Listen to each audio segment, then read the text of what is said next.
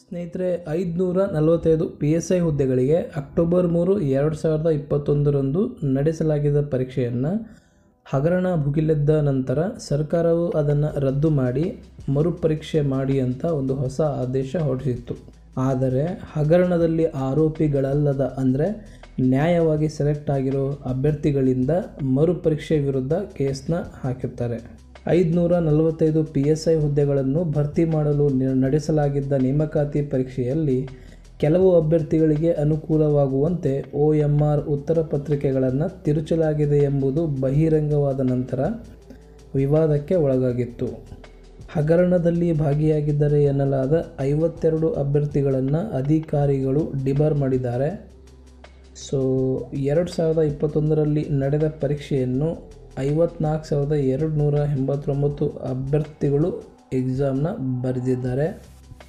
So, ಇಲ್ಲಿ ಮರುಪರೀಕ್ಷೆ ವಿರುದ್ಧ ಕ್ಯಾಟ್ನಲ್ಲಿ ಕೇಸ್ನ ಹಾಕಿರ್ತಾರೆ. ಅದರ ಡೀಟೇಲ್ಸ್ ನೀವು ಸ್ಕ್ರೀನ್ನಲ್ಲಿ ನೋಡಬಹುದು two one three six, two one four six, writ petition.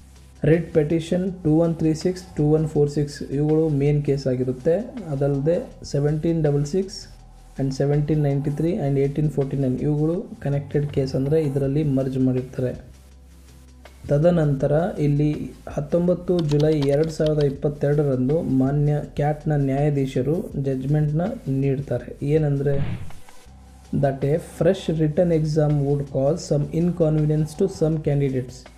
Cannot be the ground to allow such a compromised selection process to continue ಅಂತ ಹೇಳ್ತಾರೆ. ಅಂದರೆ ಹೊಸ ಲಿಖಿತ ಪರೀಕ್ಷೆ ಮಾಡೋದ್ರಿಂದ ಕೆಲವು ಅಭ್ಯರ್ಥಿಗಳಿಗೆ ಕೆಲವು ಅನಾನುಕೂಲತೆಗಳನ್ನು ಉಂಟು ಮಾಡುತ್ತೆ. ಹಾಗಂತ ರೀ ಎಕ್ಸಾಮ್ ಮಾಡಬೇಡಿ ಅಂತ ಹೇಳೋಕ್ಕಾಗಲ್ಲ, ಒಂದು ವೇಳೆ ಹಾಗೆ ಮಾಡಿದರೆ ಇದು ಒಂದು ಕಾಂಪ್ರಮೈಸ್ಡ್ ಸೆಲೆಕ್ಷನ್ ಥರ ಆಗುತ್ತೆ. ಸೊ ಆದ್ದರಿಂದ ರಿಟರ್ನ್ ಎಕ್ಸಾಮ್ ರದ್ದುಗೊಳಿಸುವ ಸರ್ಕಾರದ ನಿರ್ಧಾರ ಸರಿಯಾಗಿದೆ ಎಂದು ಕೋರ್ಟ್ ಆದೇಶ ಮಾಡಿದೆ. ಆದರೆ ಹೊಸ ನೇಮಕಾತಿ ಪ್ರಕ್ರಿಯೆಯಲ್ಲಿ ಕಾಣಿಸಿಕೊಳ್ಳಲು ಕೆಲವರು ಗರಿಷ್ಠ ವಯಸ್ಸಿನ ಮಿತಿಯನ್ನು ದಾಟಬಹುದು. ಸೊ, ಈ ವಿಷಯದಲ್ಲಿ ಸರ್ಕಾರ ಅವರಿಗೆ ಸ್ವಲ್ಪ ಏಜ್ ರಿಲ್ಯಾಕ್ಸೇಷನ್ ಕೊಡಬೇಕು ಅಂತ ಆದೇಶ ಮಾಡ್ತಾರೆ. On both grounds urged by the applicants, on suppression of tainted and untainted candidates as well as lack of adequate material the applications fail. So applications are dismissed so ಆದ್ದರಿಂದ ಇಲ್ಲಿ ಕೇಸ್ನ dismiss ಮಾಡಿ ಆದೇಶ ಹೊರಡಿಸ್ತಾರೆ.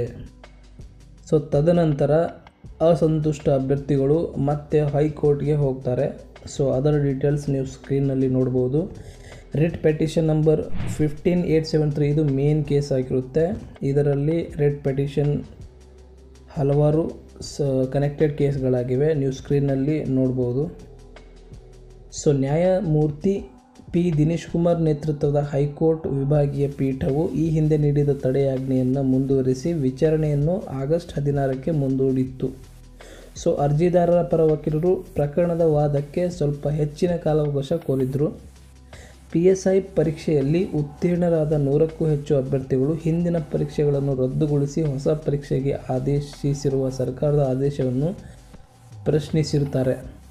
So finally ಎಲ್ಲ hearing complete ಆಗಿ twenty sixth October ಎರಡು ಸಾವಿರದ ಇಪ್ಪತ್ತ್ಮೂರರಂದು heard completely and judgement is reserved ಅಂತ ವೆಬ್ಸೈಟಲ್ಲಿ ಅಪ್ಡೇಟ್ ಮಾಡ್ತಾರೆ ಸ್ನೇಹಿತರೆ. ಸೊ ಇನ್ನು ಕೆಲವೇ ದಿನಗಳಲ್ಲಿ ಇದರ ಕುರಿತು ಒಂದು ಅಂತಿಮ ತೀರ್ಪು ಪ್ರಕಟವಾಗಲಿದೆ. ಸೊ ಜಜ್ಮೆಂಟ್ ಬರೋಕ್ಕೆ ಭಾಳ ದಿನ ಬೇಕಾಗಿಲ್ಲ ಸ್ನೇಹಿತರೆ. ವಿತಿನ್ ಟೆನ್ ನವೆಂಬರ್ ಜಜ್ಮೆಂಟ್ ಬರಬಹುದು. ಹಂಡ್ರೆಡ್ ಆಲ್ಮೋಸ್ಟ್ ಅಂತ ಹೇಳ್ಬೋದು ಸೊ ಇದೇ ಥರದ ಅಪ್ಡೇಟ್ಗಳಿಗೋಸ್ಕರ ನಮ್ಮ ಚಾನಲ್ನ ಸಬ್ಸ್ಕ್ರೈಬ್ ಮಾಡೋದನ್ನು ಮಾತ್ರ ಮರಿಬೇಡಿ ಅಂತ ಹೇಳ್ತಾ ವಿಡಿಯೋನ ಮುಗಿಸ್ತೀನಿ. Thank you for watching